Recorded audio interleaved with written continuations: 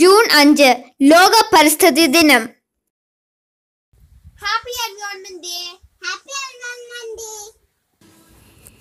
What a better day to start a garden on World Environment Day. Planting a sapling, watering it daily, seeing it grow makes everyone happy. The theme for World Environment Day 2020 is Time for Nature, Protect Biodiversity.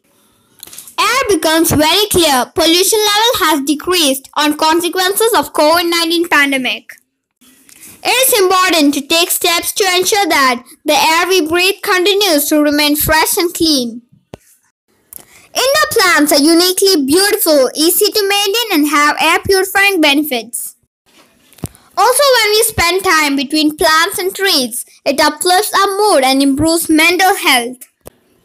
Coronavirus forced people to stay indoors. Due to lockdown, we are spending an ample of time at home only. The importance of indoor plants is also scientifically proved that it provides more oxygen and our brain function will get much better when it gets ample amount of oxygen.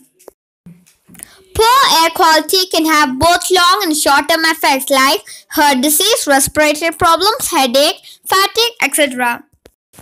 So to stay healthy and happy, this is a simple way to keep air purifying plants at your home. Tulsi, aloe vera, peace lily, weeping fig, spider plant, money plant, snake plant, etc. as you know. Tulsi, also known as the holy basil. Tulsi can absorb harmful gases like carbon dioxide, sulfur dioxide, benzene, etc.